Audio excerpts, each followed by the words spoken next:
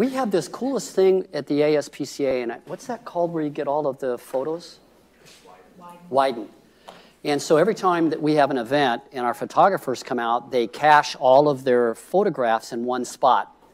And it was really fun going through and, and stealing photos or, and then adding some of the ones that we had as well. So uh, I just basically made a whole bunch of stories out of these photos. So I hope you'll enjoy it.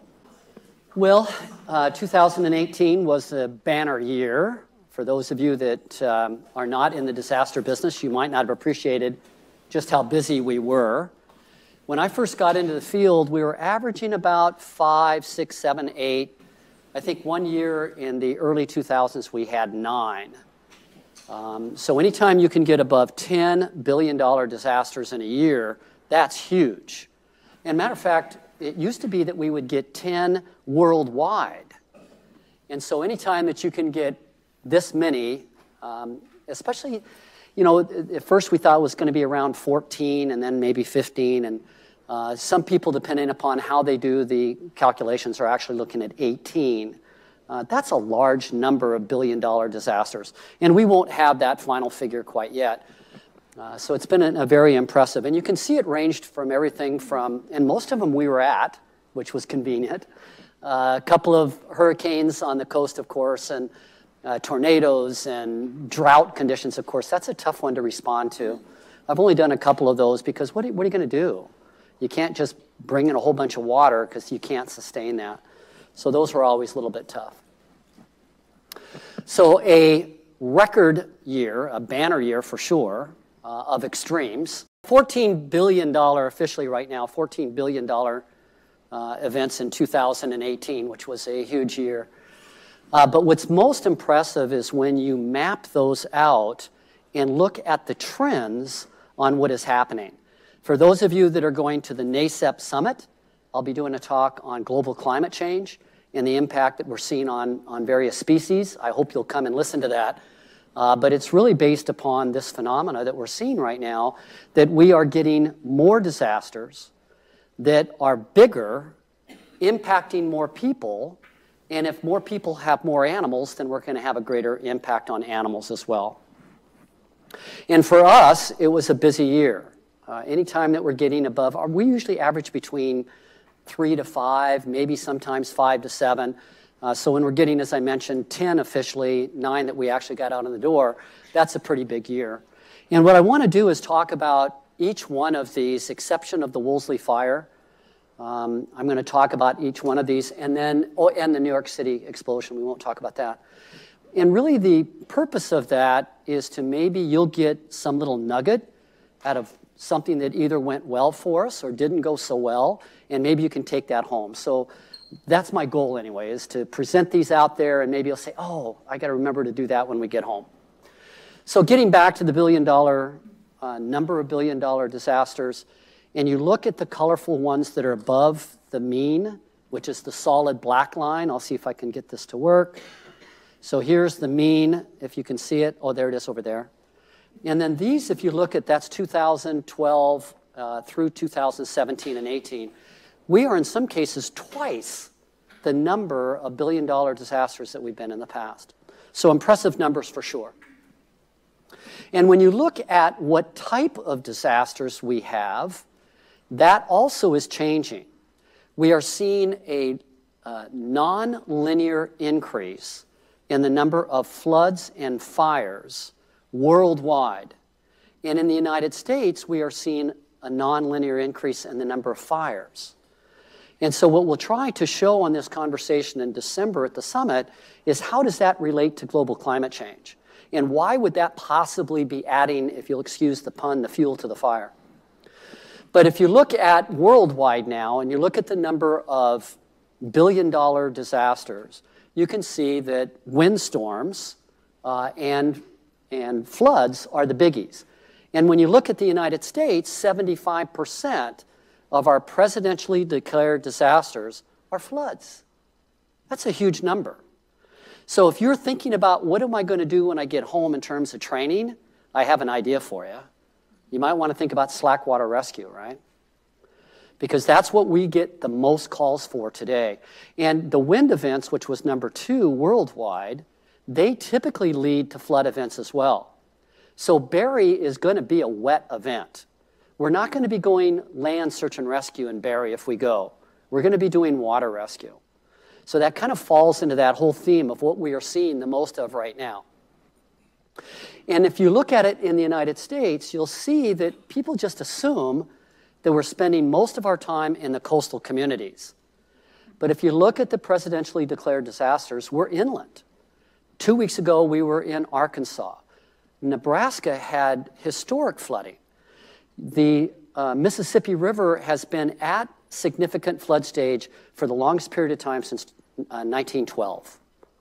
So that's a, a surprising statistic right up there. Instead of really thinking about all of these events that we're doing and all the trainings we're doing along the coast, we should be moving up toward the Mississippi and Ohio river basins.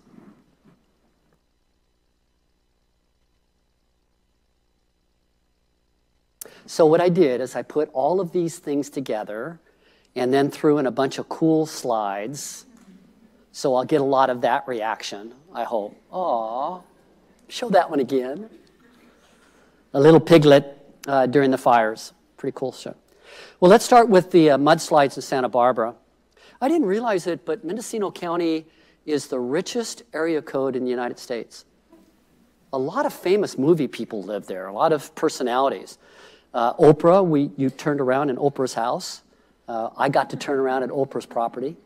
Um, what's the Ellen DeGeneres? She just sold her place to Ryan Seacrest. Who else did we see while we were there? I don't know this stuff normally, but Rob Lowe, what came out, yeah. Jeff Bridges. There were a lot of folks that got involved with this response that lived right there. Uh, and so every home you would go into, well, every other home would be this amazing place. And Joe was talking about one place that we went where the guy had bought side by side lots and put probably a $3,000 or 3,000 square foot containment area for his flamingos.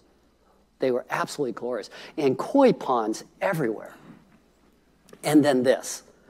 So, what had happened is that the Thomas Fire came last December, burned about a quarter of a million acres, and of course left the hillside barren. Now you get all of this torrential rain that came down, and the mountain just came right into the city, right into the town, and just brought it down. And it was a wall of force that was absolutely amazing. I showed you the picture from the tsunami. This is very similar to it, not quite the elevation, but this car was carried halfway down the mountain and ended up in this guy's house. And the, you know, you're probably looking at six to eight feet of mud that had accumulated against these homes. All of these places were just razed. There was no way that they were going to salvage them. So they just brought in great big front end loaders and started to tear it up. Well, one thing that you're going to see through all of the six sevener that I'm going to talk about is the need for collaboration. You know, the fun part about our job, and I know these guys would agree, is when we come and help one of your communities and we get along it's just so much more fun for us when there's that relationship established and we're working with you alongside you other than you know maybe as a track out here somewhere. Uh, and I'm, i would encourage you as you're thinking about your MOUs in your county and you're thinking about what group you want to establish and we can help you find the perfect group for you but think about the group that you want to work with that you would enjoy if you could enjoy such a thing doing this kind of work and all the groups are a little bit different. Uh, we've got some groups that are pretty aggressive. We've got some groups that are laid back. We've got some groups that only do large animal rescue. We've got other groups that only do sheltering. Uh, so, of that group that I showed you, that National Animal Rescue and Sheltering Coalition, there is a group that will fit for your community, I promise. But this is what you want to have. And this is what we had there. I mean, we just had a good time with these folks. And they, and what we did is that we took one of our people and we put them with an animal control officer and used an animal control unit. So we paired them up. So we could get some, some of their experience, they could get some of ours, and it worked extremely well. So you'll see that theme through a lot of them, through a lot of these presentations. The other one is the importance of credentialing. The very first thing we did when we got into town is we went over to emergency management, went to the EOC, and we signed in. And they then had us as official volunteers We were given our little credentials. Some of us were, some weren't. And that credential and the placard was sitting on every one of the vehicles that we took out. That is critical. Same thing we did in Arkansas. A couple of weeks ago, the very thing I did is went over to emergency management. I got my credential that said what we were doing, which in that time was animal search and rescue. And then every one of our vehicles got a placard that could go into the dash. So if you haven't done that yet, think about it. And I would recommend you get those magnetic placards that go right on, unless it's a brand new Ford that doesn't have any metal in them. I think they're all plastic or whatever. But so this was really amazing for us to be able to get through all the roadblocks and get up roadblocks and get up there and get going. And, and what they were literally doing here is that they were having to take these boulders were the size of they were bigger than homes that came off that hill and they, they couldn't move them. So they had jackhammer crews up there breaking them up into chunks that they could get them down to a size that they could get them out of there. Well, I'm not sure what I'm doing on the left. That photo just cracked me up. I had to put it in there, but uh, I spent a lot of time just looking for tracks because, as especially when we'd come and we'd find a, uh, you know, uh, some kind of housing, whether it be for birds, cats, dogs, whatever, and you, you know, that housing for the birds would be, the coop would be maybe 100 yards down from where it started. And the one thing you wanted to do is to find out whether the birds were still alive or not. So we were constantly looking for tracks in the mud. And it was funny to me how, you know, I'm, I live out in the boonies and live up on a mountain forever. And so we're kind of used to figuring out what animal goes with what tracks. But it was amazing to me how many of the first responders did not know how to read track. So it's something you might want to add to your curriculum. Here's Joe on the right and Lauren on the left. Uh, that stick became everyone's best friend.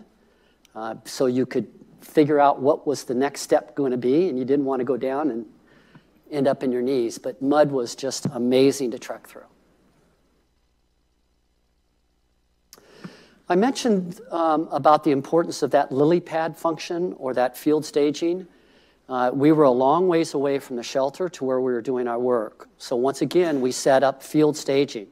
We had an animal control or a van or somebody that would stage at a parking lot.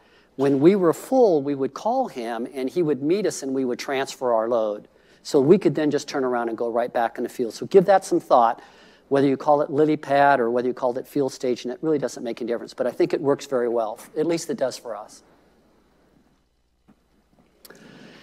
Um, I think, I, I, don't know if I mentioned it, I've, it's already a fog of what I said even two hours ago, but when we were doing the fires in uh, Sonoma, we got into the whole thing about saving the koi. Did I mention that already?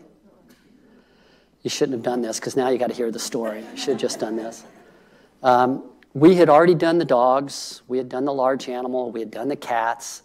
Uh, we were starting the cat trapping program. And as we were going out doing our feeding in place, we were seeing a lot of koi ponds. This is in California. So the two things that Californians have in every yard is a chicken and a koi, right? and so I asked the director if it would be okay if I put together a plan to start rescuing all the koi. And he said, Yeah, I guess if you want to save the koi. But it was miserable for him because there was no power to the ponds. The ponds were full of ash and they were dying. So we put together, I actually wrote a plan. I called it No Koi Left Behind.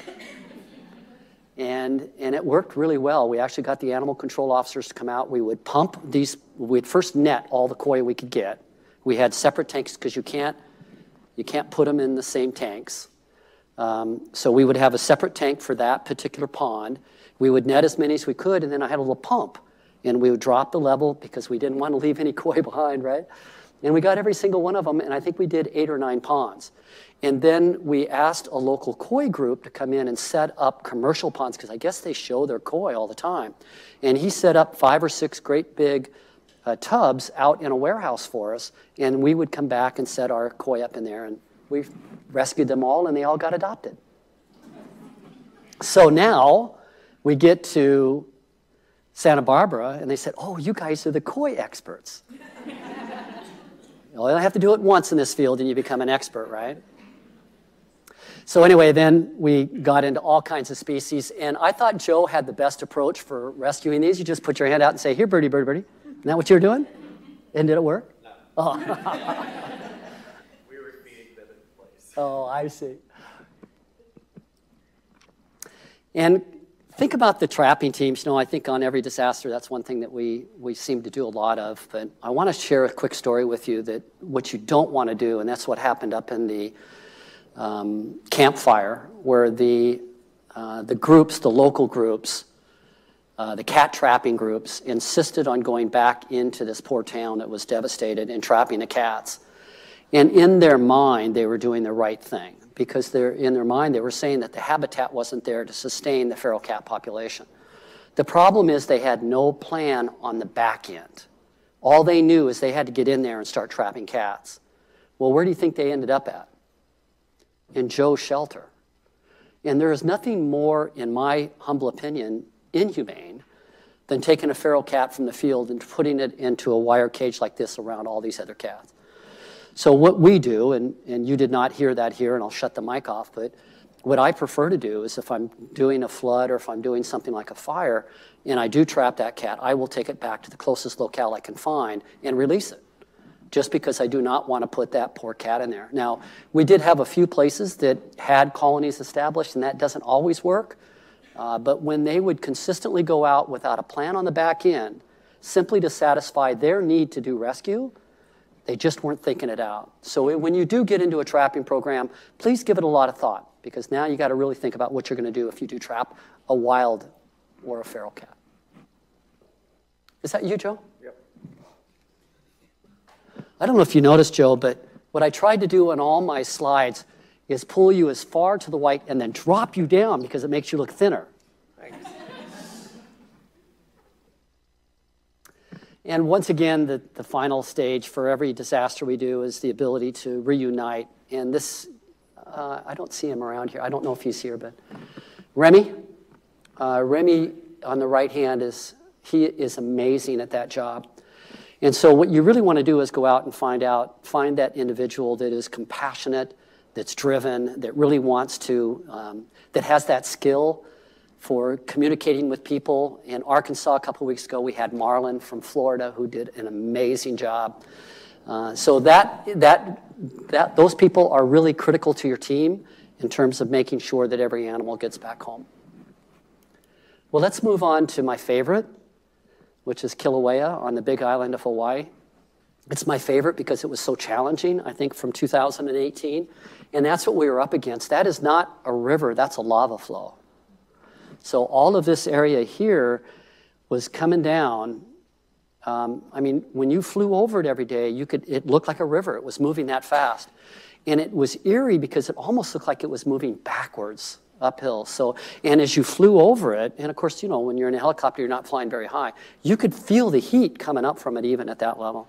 So it was a, it was an amazingly um, frightening, um, exhilarating, challenging, and fun disaster. It was a very unique situation because there was a lot of strife. Anybody from the islands? Anybody from Hawaii? FEMA region 10, no, 9. Um, there was a lot of um, rift between the lead agency, which was Hawaii Humane, and the local rescue groups. And a lot of it was warranted, but a lot of it was because there was just bad communication between the groups. So when we got there, I was hearing it all from the rescue groups. ASPCA has come here, we're going to rescue all the animals, and we're going to bypass the Hawaii Humane Society. I said, we can't do that. That's the authority having jurisdiction. So I talked to the director and I said, would you mind if we put together a community meeting? And those are always a little scary because now you're trying to put all of these people who've been fighting for years in one room and see what happens. We called extra security, so we were okay. But they did. They all came together and they all showed up. So we had representatives from the mayor's office. We had, um, uh, I don't know what the legislative body is, but we had a representative, kind of like a councilman. Uh, we had animal control, and we had almost every single animal welfare group on the island show up for that meeting. And we just laid it out there and said, okay, here's what we're going to have to do if we're going to make this happen. We're going to have to work together. And we may agree to disagree in places, and this is what their job is, and maybe they're not going to be able to change that. but we got to come together if we're going to make this happen. And everybody was okay. And after that, things went fairly well. But Joel, uh, who is now with another group in the ASPCA, but and you'll see him in the next slide. He was really worried about it. He said, Dick, what's going to happen if a riot starts? I said, ah, we'll be okay. No riot started. And there's Joel. We miss him. He's now over in the adoption area, but uh, he was our planning section chief for quite a while.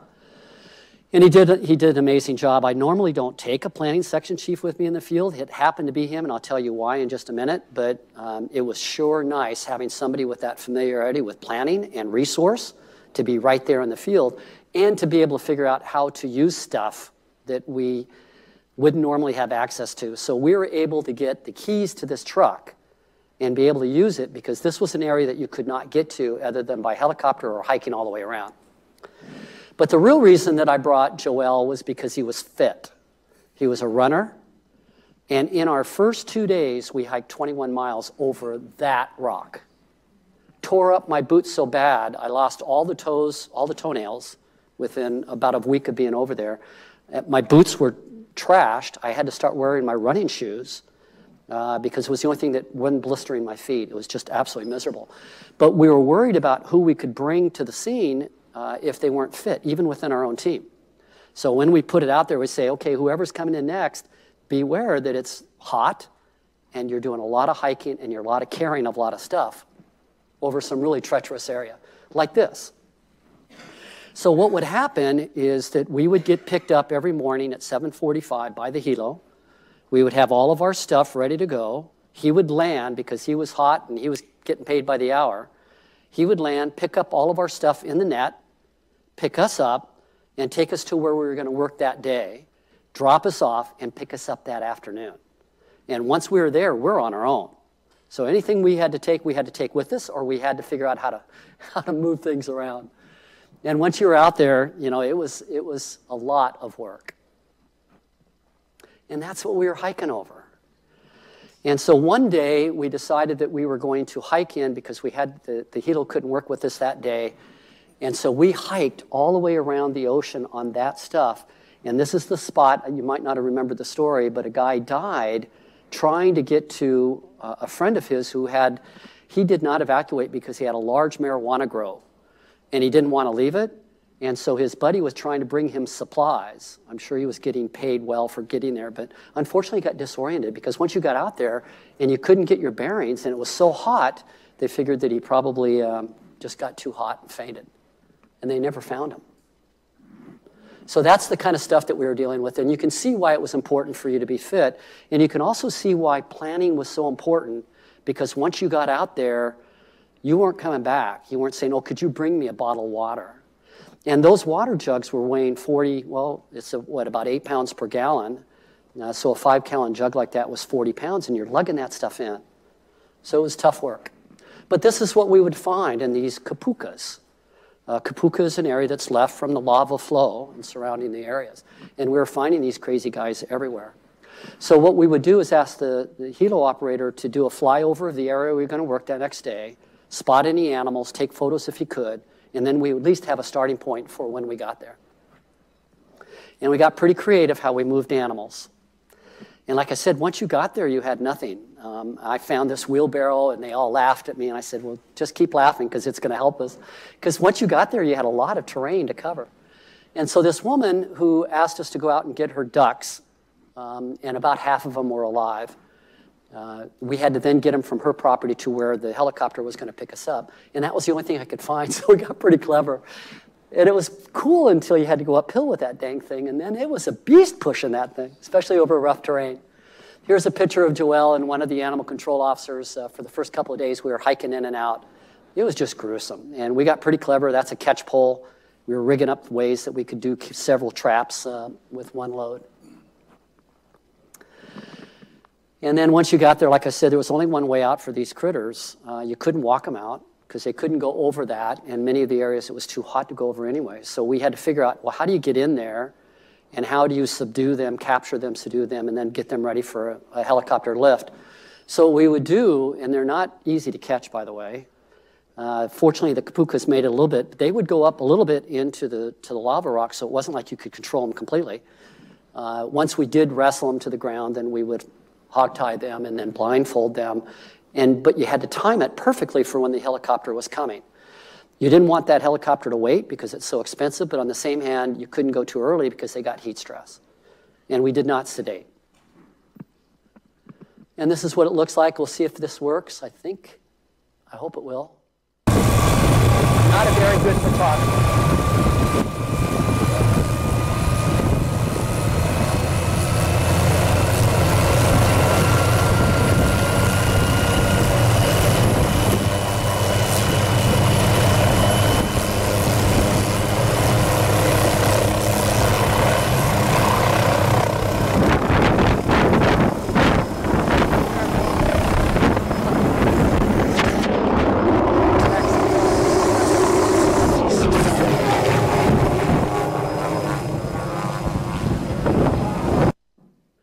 So he would do that on all of our loads. So when we were ready, we would call him on the radio. Uh, we could take a couple of sheep, a couple of goats. Uh, we could take two big kennels at a load. So when it was time to go off that area, then he would come drop down. We'd get the loads in. He'd go over. We'd have another group at the trailer receiving the animals, putting them in the trailer. Real quickly, he, they'd come back at the second load, and then when we were all done, he'd come pick us up. We were always last, of course. And we got pretty clever on how to contain them. Uh, you know, the, the, these properties were not rehab- rehabitable. And so um, we just stole some fencing material and, and made the area smaller and smaller and smaller so that we can contain them. It was absolutely critical. And matter of fact, the fire department uh, would not let us go out without our safety plan. And the safety planning had to include a spotter uh, fortunately, we had uh, somebody from USGS that was a true animal lover, and she had all of the stuff and being, um, you know, that's what she did for a living is studied vol- volcanoes. So she was amazing to have, but she wasn't physically fit, so she couldn't make the walk in. Uh, so she would, we would position her in such a place where she had line of sight, radio comms, and then she carried the USGS radio, and we had a uh, fire radio as well. So when she saw that there was a change of wind or whatever, uh, we would either call the, the helo to get us out of there, or we'd beat feet and come back. So safety is huge. And you know, we have a tendency in the animal welfare world to think with our heart before we engage our brain. And so a lot of times we see an animal in distress, and the first thing we do is jump in, right? And, and when you're in this field, you just can't do that. You have to think it out and, and make sure that you're safe all the time. So we were wearing scrubbers. Um, you can see the monitor on my left um, strap. Uh, I think they were set at about two parts. And when that thing would chirp, the mask would come on. If it didn't chirp, you didn't have to wear it. Uh, we saw some pretty high readings. But keep in mind that you would have to be out working in that environment for eight hours unprotected for several days before it become toxic. So we were very safe, but we wanted to make sure that all of the animal welfare groups were following minimum standards and at least practicing their PPE. And this is what you were looking at every day. That sucker was right on your heels. And boy, you watched the wind to make sure that you were safe the whole time. Well, I got to share this with you. I poo pod this thing and I almost nixed it initially, but uh, there was a group on Maui that were trapping feral pigs with a net system. I said, oh man, we just don't have the time for that. And we were kind of slowing down. I said, sure, come on over. And they did. And this was the slickest thing I have ever seen. So this is about a 14 foot octagonal uh, frame that they pop together real quickly. It's all marked, so A goes into B and so forth. And the net goes in between them. So think of the best way to envision this is think about a fishing net that you use for trapping cats, right? You know how you get a cat in a net, and what's the first thing you do? You turn the handle, right? And that keeps them in the net part. So if you'll just remember that, it'll make sense to how this thing works. So the first thing is, once again, remember what I just said about feral cats. You have to have the in plan in mind so you don't trap something or you don't pick something up until you have a place to put it. So we built the corral first. And of course, you got to have the helo. This is the owner, uh, Vietnam vet, owner of the largest tour group on the Big Island. donated his bird to us for one full day to do this operation. Absolutely amazing man. Brought his wife and his son to be his crew for the fueling and whatnot. So this is the release line. So, and it's electronic latch, it's like a big magnet. When he is ready to release the net, he can do it inside the cabin. Uh, he never gets out. Nobody gets out to do in, that, that touches any animal that this thing drops over the top. That's the real key to this. Instead of being hot, people jumping out and trying to chase uh, critters around, you don't do any of that. Nobody gets out of the bird. And this is what it looks like when the, when the helicopter is lifting the cone of it. So just think of, again, once again, that fish net. And so what it has is a line that's attached to it so that when you release the line, the frame tilts. And it traps the animal in until it can get above ground, and then it brings them back like a fish in a net. So it sets down over the animal, the animal runs into the net, and they take off. And that's what it looks like when it's in the air, and this is what it looks like when it's bringing a, a cow back. Isn't that cool? And nobody has to get out. It's a little dicey when it comes back because they're not necessarily happy, so you got to make sure you got the right handlers in there. Yeah. And then at the end of the day, you have a chute and you put them on the trailer, and we moved them. So it went extremely well. We're trying to get them to come over to the United States for the NASAAEP summit and do a demo, or at least a discussion. So that was one of the highlights for the trip. And then, of course, once again, this whole reunification thing. And what made this one so special is anytime you do tech rescue, anytime you're doing something a little special, it makes the reunification even more special. Because these people had given up on these dogs and these animals because they didn't think anybody was going to be able to get into them. Uh, but fortunately, we got done eight straight days of helo ops. Guess what he charged me? $1,500. $1,500. That was it. So he was obviously gifted because he was running that much in fuel probably almost daily, but it was pretty cool. Well, then let's start talking about the Mendocino complex fire. So we have Mendocino and Mendocino. So there are two counties in Northern California that are right next to each other, Mendocino County on the west and Lake County on the east. Uh, and we have been to both of them more times than I care to count for fires just like this. This turned out to merge into two fires. The two fires merged, they became a complex, and it burned over 435,000 acres. So it is now the largest fire in California state history. And it was a beast for sure. And once again, trying to find those groups where we can work together so well. And because we've been in this community or this county so many times, uh, it's seamless. We almost always, they almost always just give us animal search and rescue. Um, and we will pair up one of our people and one of their people, and off we go. So it just works extremely well. There's trust there. They know that we're going to work for them, and they're going to and, and they're going to work with us. And it just it's just a fun place to go. What also makes this unique is Lynette, who is on the left side there, is married to a very high ranking CAL FIRE person. Oftentimes, on a big fire, he'll be the IC for CAL FIRE. And he's married to this humaniac that is just crazy and wild and loves animals. And she started the CART program, the County Animal Response Team, that they call LEAPS in that county. So she started it so we've got that link with CAL FIRE. So every day, she would go over to the morning briefing at the EOC and bring us the latest situational awareness. That is huge in this business. When you can see those fire lines exactly where they're at as of last night, that's really, really good for us. And she was bringing us radios that could communicate with CAL FIRE. Uh, so that was a really big bonus for us. So every morning, we would start with the briefing. She would come back over um, and then we would dispatch six teams a day, uh, and off they would go doing their thing. It was just amazing. You can see the size of that fire. I don't know if I can make that out, but that whole red area, uh, it's, it's kind of hard to match that. It was a big fire. And it took a lot of resources. And so here we are about ready to evacuate some horses that we couldn't get out on the first time through. So we were going back to get them a second time. And look at that fire. I mean, we were literally waiting for CAL FIRE to say, yes, it's okay for you to go in now, but hurry.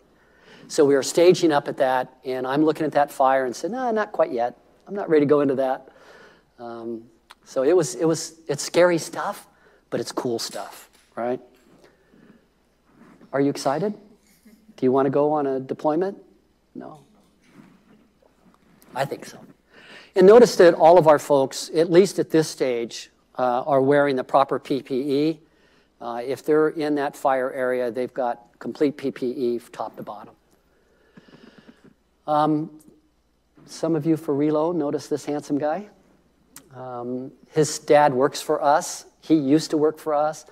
Uh, it's probably one of the best son and dad teams you'll ever find.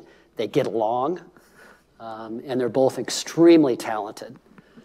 Uh, so, like I, like I've mentioned before, on fires you'll see just about every species known to man. So a lot of birds, and a lot of everything else. This is Sue Anderson, one of our responders, sharing her water bottle. Isn't that cool? They were obviously quite thirsty. Make sure that if you're going to do this work, that you get the people that, are, that have those handling skills. Uh, don't put a cat person into a large animal role unless they've had that role before, unless they have an understanding of that. These big guys can, can do some serious damage to you, so be careful on your team selection. But we'll do a lot of this. This is just good old fashioned feeding in place.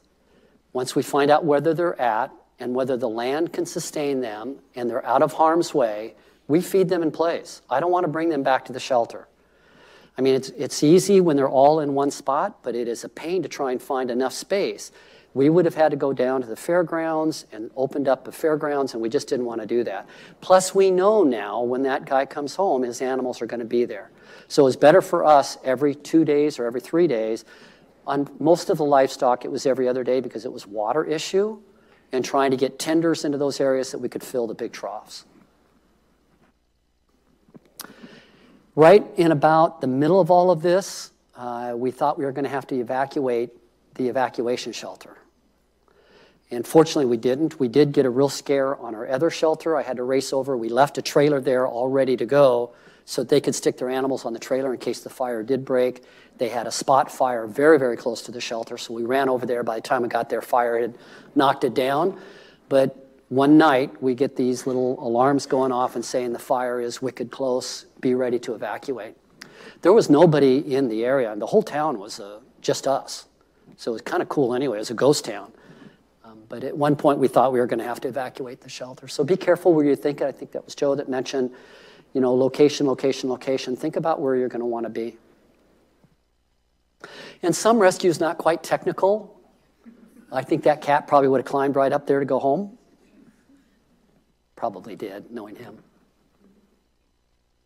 But this is just a feeding in place. Uh, one of our responders that uh, love him to death. He does such a great job, and I just found out at lunch he's got a job. So he's not going to be working with us anymore.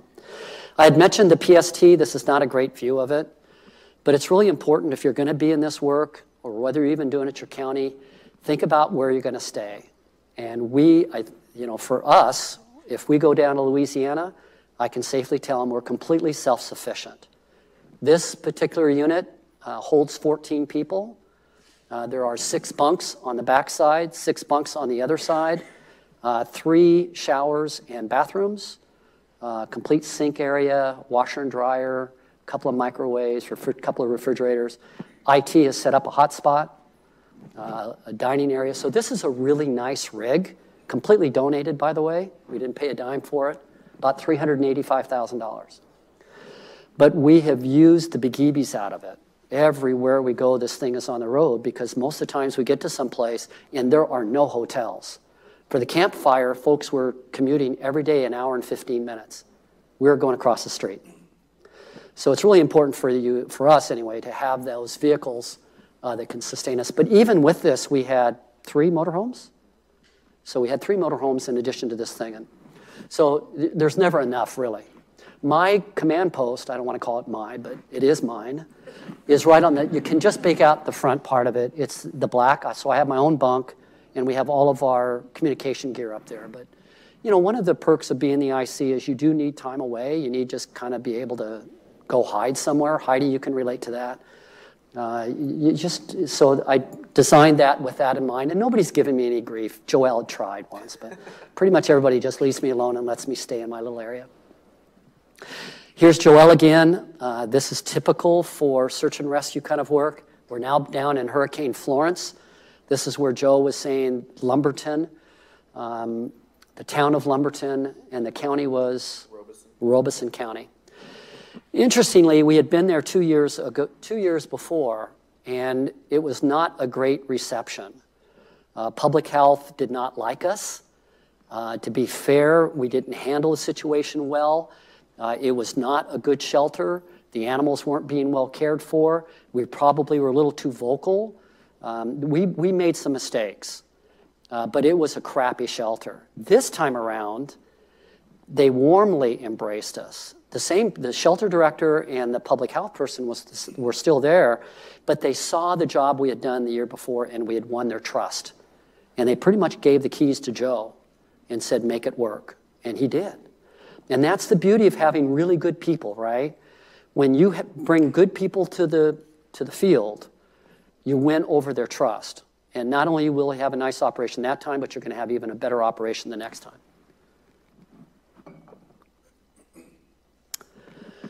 And you know, everybody thinks, as I mentioned earlier, that that the water work is it is sexy work, but it is beastly when, especially because the water levels change on you all the time. You'll be in 12 feet of water one minute, and the next one you're you're you know sloshing your boots around. Uh, and so it's, it's really it not as fun as it looks. And what are those couple birds in there, I think, right? Like maybe two or three ducks, knowing Joel, Interestingly, um, so as I mentioned, we were there two years before. Joelle, we had to kind of split up our operation, and I left Joelle in Lumberton. And he went back to the same house we had been to two years before, found the same kennel with a dog in the kennel with his head about like this above the water. So, same house, same kennel, same situation, different dogs. I mean, why that guy hasn't been arrested is beyond me. That's kind of the tough part of our job.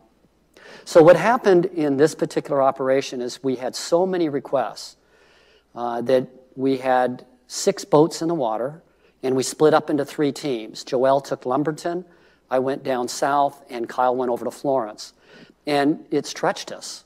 It made me a little bit nervous, but it went extremely well. So we were able to service three different communities at the same time. So here's Joel and his dang birds. I don't know what he's got about birds. Um, this is his partner in crime uh, out of our LA office. And yeah, it was just great work. Everybody always asks me, I, one time we rescued a duck in a flood. They said, Why are you rescuing a duck in a flood? and then you get Kyle. Kyle gets all the good calls. Here's the dog all packaged up, ready to go. Probably in there licking the barbecue racks, right? Well, I, Karen Walsh is right up here. Wave your hand. So Karen oversees our reload program, and I tell you, uh, we kind of changed the way we operate a couple of years ago now, where when we go to disaster mode, when she can kind of move her vehicles around from what they were doing to support us, it makes such a big difference. So I'm talking about the lily pads she's got these sprinter vans that are amazing and they work perfectly for that lily pad operation. And I think I've got a better picture of what the inside looks like here.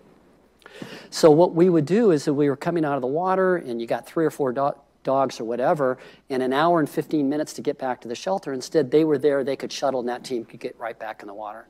So it worked extremely well. So bringing the two programs together during a disaster, it, it's good on my end anyway. Uh, I'm sure, certainly glad that we have it.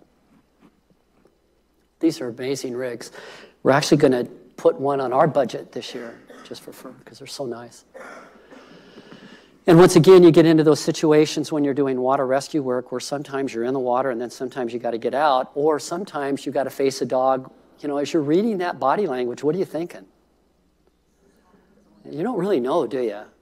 And so you want to make sure that you may have a really good SAR tech, uh, a search and rescue person, that's got great slackwater rescue skills, but maybe not the animal handling skills. So there has to be the balance. And they got to be able to read that body language and say yay or nay. Uh, so just beware of that. If you're going to start getting into this and you, you want to kind of find what your niche is, and just keep in mind that you want to have that balance. So we're right now starting to teach the USAR folks um, how to read um, body language, understand a little bit of that behavior, capture, control, and handle. Uh, we just rolled our class, first class out two weeks ago, two or three weeks ago in New York, up here. So with that curriculum, we're just kind of getting it going, and, and hopefully we'll get a lot more folks taking that so that you can get these good SAR, SAR tech people, but still know how to handle an animal. These were a couple of my pigs. Um, it's a cute story. Uh, the water was coming up seven inches an hour. Seven inches an hour. So this much every hour.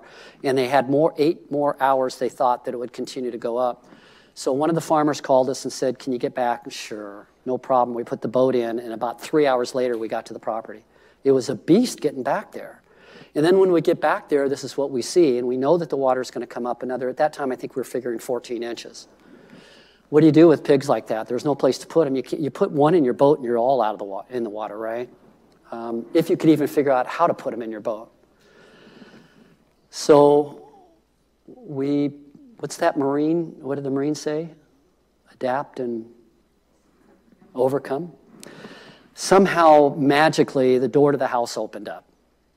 And so, what I did is I found a bunch of plywood and I made a chute that went through the kitchen. He had just laid beautiful linoleum. In through the living room, through the dining room, and out to this area on the deck and we just shot them through. There were six of them. Ran them right out to that sun deck, laid their food down on there, and they were happy because they weren't treading water anymore. They were out of the water. The owner's not going to care. I mean, he probably, we tried to kind of wipe up the floor a little bit, but he's not going to care. He saved his pigs. So, and we measured out there, and we had enough gunnel or enough uh, height that we that they'd be just fine. So you've got to be creative. You got to think out of the box. You got to think about what's going to make it work. Pigs are always tough, and they're good swimmers for a while. And then we get into Hurricane Michael. Um, they were, this was like in October now.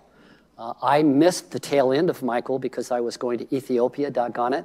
Uh, but I was on the front end of it. Um, but it was an interesting one. So we went from Florence, which was all water based, to Michael, that was all land based. So kind of a little change in expertise, change in the skill sets that you're looking for, et cetera. Same level of destruction. And you know, now you're scurrying through structures, you're climbing over stuff, you got a whole bunch of different hazards that you have to be aware of in a different level set of training. Now, fortunately, our core team, two, three years ago, uh, went through some basic awareness and operational level for confined, confined space and trench rescue. So most of the folks that are the core team have got at least a modicum of understanding on how to stay out of trouble. But you got to be careful with your group because they're going to go right into these kind of structures without even thinking about the safety part of it. And then trying to find an animal in all of that overgrowth and you know trash and debris and detritus that's just laying around is it takes a, a lot of talent for sure. And then you're walking on top of this rubble that you could fall through. There's nails in that. There's just so many hazards in that structure. Um, and it was interesting when we debriefed from this, um, they all said, let's go take more of that training because it was good to know by looking at what it, you know, was that structurally sound and what house you're going to stay out of. Uh, during Sandy, we, we were doing um, uh, the shelter was giving us daily requests. And one woman on the request sheet just gave us the front page of the newspaper and she circled her house. And the house had gotten off the foundation and was 100 yards down the shore. And she had put nine cats. So there were nine cats in the house off the foundation and wanted us to go rescue them. So we checked in at the roadblock. I checked in with the IC. We went and did a, a quick assessment, and I said, no, we're not going in. And, you know, the team is like this because they wanted to go get those cats. And I went back to the IC and I said, no, it's not safe for us to go. And he said, that was the right answer. You guys are welcome back every day. We want to work with you because you understand the importance of not going into places you shouldn't be. So it will pay off for you It'll be hard, it'll wrench at your heart, uh, but it'll, it'll pay dividends down the road. So just be aware of what that really will mean in terms of putting your people at risk. And every time we do a fire, we do a, you know, there's all these gall, dang petting zoos and exotic places, and they're everywhere. Uh, during the fire in um, Woolsey Fire, everybody wanted to know, I think they called him Charlie. How is Charlie the giraffe doing? So we had to make a special trip to make sure Charlie was doing okay. And the same situation down in Michael. Because they become a real popular animal for the community. And then, of course, you have to have your cute situations where mama and all the puppies show up safe and sound. And then, of course, from the medical side, uh, this is where our triage is critical and why setting up some place that we can bring these animals at. And we prefer to do that outside the shelter. Uh, in um, Arkansas, we set up an area on the back end, so we completely separated. So as the animals were coming in from the field, they were deconned, they were triaged, deconned, and then they were brought into the isolated area uh, and then the vehicles were deconned and they could go back out again. And we did not let that population come into the general population for a minimum of two to three days. And as it turned out, we had enough room, they never came into our population. So it's really critical that you have this set up in a strategic spot. And a lot of it's going to depend upon what the weather's like. Talking about fitness again, uh, this gets old quick, wouldn't it? Especially if you got a 50, 60 pound dog inside that crate. So if you haven't thought about getting a fitness program going, here's your wake up call. Just more of the same. Boy, that I don't think people appreciate just how much destruction occurred during Michael. Well, then I want to get into my favorite, and it's the last one, um, and that's the Camp Fire. For those of you who do not, did not, maybe we were out of the country, that's about the only way you could have missed this one. Uh, the most destructive fire, all of these most, biggest, most whatever in California recently, but um, this was the most destructive fire in California history. And it went through a little town called Paradise. And not too far from where I was living at the, t- at the, just before that. And I'd been up looking at property in there. And the reason I didn't want to go there was there was only one way in and one way out. And that's what happened. This fire came so quickly uh, it was first spotted by a team at 6.30 in the morning. By 8.30, it was in paradise. It was just literally flying through. And it consumed that town so quickly that people couldn't get out. I mean, what would you do if you were in these cars right there? Well, what happened is people weren't moving fast enough, so what did they do? They bailed. And then what happened to that car? Now it's plugging up everybody behind them. And so it was a mess. It was just truly, truly a mess. And just, you know, people would say, well, that's as far as I could get. I'll tie them up here and hopefully somebody can take care of them. So I want to talk about this group just a little bit. This is called Cowboys 911. Have you heard of that group? They're a little bit like um, the Cajun Navy. They saved a lot of lives. And had they not been there, uh, I don't think they would have, I don't think the group, local groups would have been able to handle the calls that were coming in. At one point, they handled over a 1,000 calls in one day. That's how many came in for requests for assistance, a 1,000. You know, a normal day, you might get 20 to 30, a 1,000 requests. So had Cowboys 911 not shown up, they probably wouldn't have gotten to them as quickly as they did. The problem is that they had no concept of ICS. They didn't understand the importance of working underneath a command structure they were willing to do the work. They were pretty good at the work. They certainly knew how to handle large animals, but they were, uh, they were just difficult to work with. And so the local group, the local cart, was keeping them out, keeping them out, and then there was so much of a community uproar that the sheriff said, screw it, come on in. And then the cart that had spent so many years developing these standards of having the proper training were now confronted with all of these vehicles that had no training and no gear. I mean, they were dressed like you guys are right now, going into fire. Uh, so it's a really difficult situation. So, what do you do about that? We don't want to lose that talent. We certainly don't want to lose those trailers and trucks and these handlers. Yes, ma'am? Um, I'm just curious. You've got a lot of people that want to come in and help. And like you said, it's really important to have the structure ASPCA is a big, you know, head group for that. When people do that, have you guys in the past like collaborated with them so that in the future they can be part of the ASPCA and then better help instead of just kind of coming in like you said and you know ramrodding and helping, but it's chaos. Did you guys all hear the question? You project well, by the way. Um, yeah, it's a great question. At the time, and I'll be honest with you, I'm not very good at it at that time because we all have jobs to do. But since that time, we have reached out to them, not me personally, but the county, and just said, can we at least invite you to come in and do some of the training so you understand how we do business? And so I think for next time it will be better. And then they've got to go through the curriculum that the CART has set up. But I have a tendency to be, um, I'm not as good at that as I should be. I get kind of into my mode. You know, you can get a lot more people in that, you know, will learn what you want them to know, and then when the time comes, like you said, they come together, and then everybody's got the training you want. Right, right. Yeah, and the key is, you know, and, and I guess the reason that I'm not as good as I should be is that I've been burned so many times by these groups. And let me give you a real quick example. In Hurricane Florence, uh, we got there and there was a rogue group that had come from Texas that were saving animals. They were literally saving animals and doing a good job.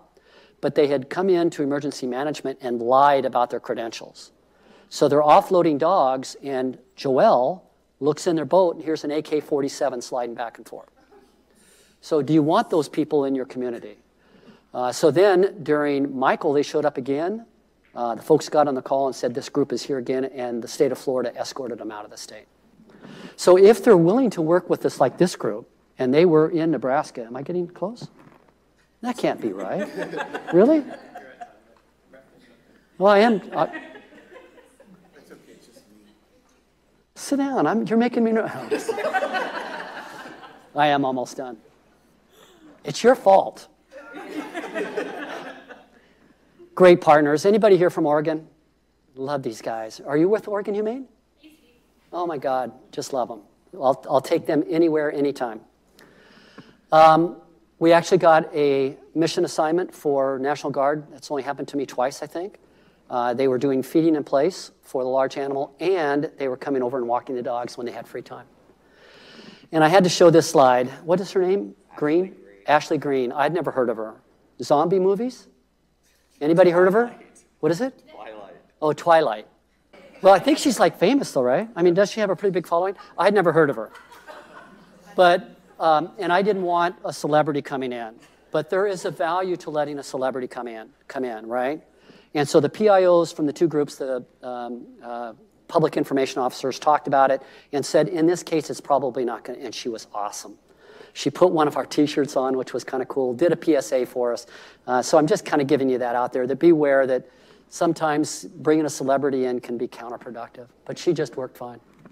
What's that? She yeah, she worked hard. Uh, we've already talked about Ella and her dog. Uh, doing all this cool. How you guys can put a line in on a bird like that is amazing to me. You're, you're just amazing folks. All the wounds that we talked about already. But I want to finish with the story of this young lady, Lindsay. Um, this was a young lady that came in and was in our reception tent. So as people would come in to try and find their animals, they would stop at her tent. So there were some times where she would be able to say, Yes, we've got them, and she's on this high, this roller coaster that you were talking about. And then other times, I can't find them. And they said, Well, what are you guys doing here? You know, and she'd have to take the grief. And every day she was on this emo- emotional roller coaster. And we kept taking her aside and saying, Can we move you? Can we put you in a different job? She said, No, I think I've got it. And she would come back just emotionally spent. And every day she would get back up she, every morning at 7 o'clock, she'd have a smile on her face, and she would go back and do the same job again. Now, we were watching her very, very closely to make sure that she wasn't, you know, getting too far into this cycle. Uh, but you need to be aware of it, but you also need a thousand of those.